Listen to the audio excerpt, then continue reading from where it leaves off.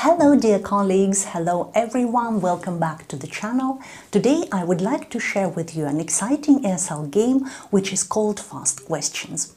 This game is not only fun, but it also helps students practice their language skills under pressure. It encourages quick thinking, listening, speaking, which is essential for academic progress. In today's video, you will learn how to prepare and how to play the game, how to avoid classroom management mistakes during the game, and how to adapt the rules for students of different levels.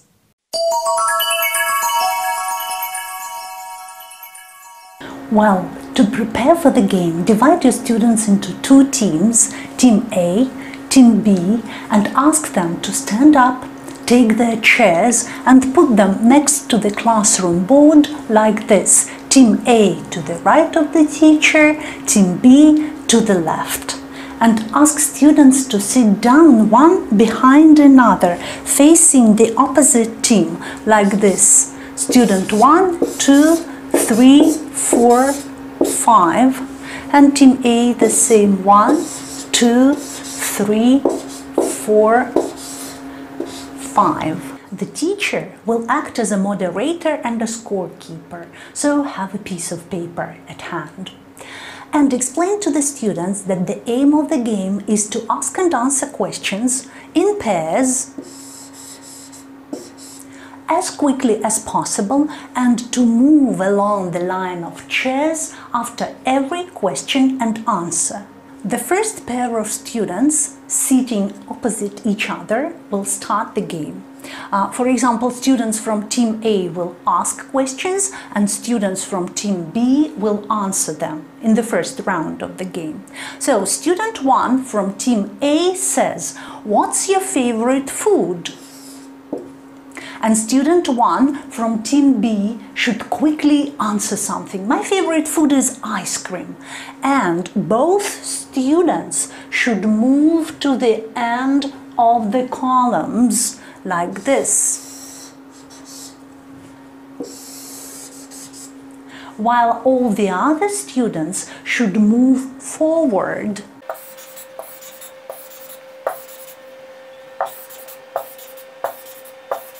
Now, as you can see, students who started the game are now at the end of the rows and students number two will ask and answer questions.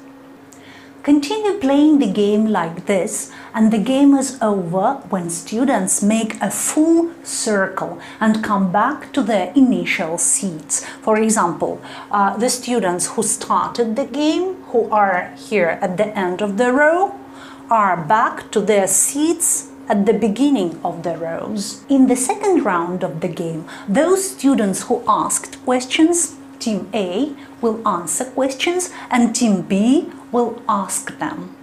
The role of the teacher is to keep the score. Every correct question and answer will earn one point for the team. But if the answer is short, then this answer will earn only half a point. This rule will encourage students to answer in full sentences. The team with the most points at the end of the game wins.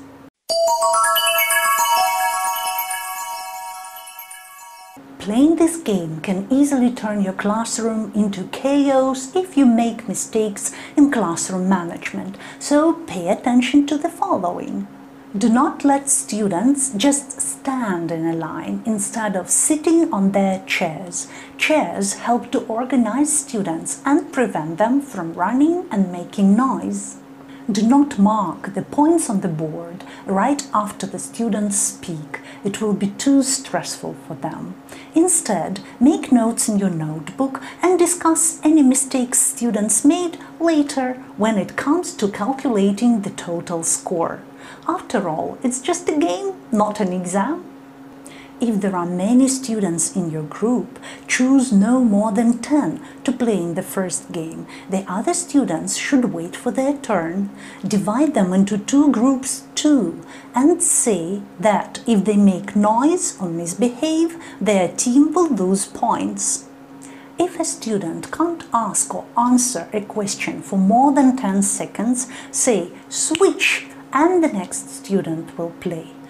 But in order to prevent students from skipping their turn, remind them that the game will stop as soon as the first students come back to their places. Use grammar and vocabulary appropriate for your students' level, otherwise they will not benefit from playing the game.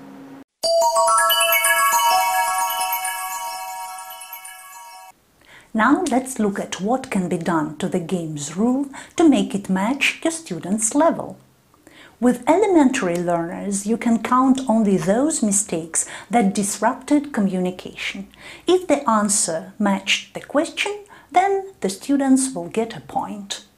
Another thing you can do for beginners is to practice one particular sentence structure, question structure. For example, uh, what's your favorite? What's your favorite food, drink? What color is or what color are? What color is the sun? Have you got a have you got a dog? Have you got a friend?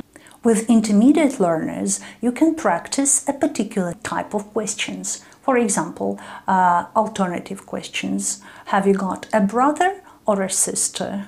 Or to practice only past tenses. What time did you get up yesterday? What were you doing when the clock struck 12 yesterday? For more advanced students, you can introduce a rule when students must ask and answer questions on a particular topic. For example, social nets, modern technologies, or ecological problems. As for grammar, you may ask them to use only conditional sentences. For example, if you were a producer, what kind of film would you like to make? This will make students think critically, creatively, and use their language skills at a higher level. And this is how you play the game Fast Questions. I'm really happy that you joined me to learn about this game. I hope you enjoyed it. Give it a try in your classroom and let me know in the comments how it all went. Well, and see you again on the channel. Don't forget to subscribe and switch on the notification bell, both on your channel and in YouTube application to stay up to date with my future videos. That's all for today. Love you. Enjoy every moment of your lesson. See you again.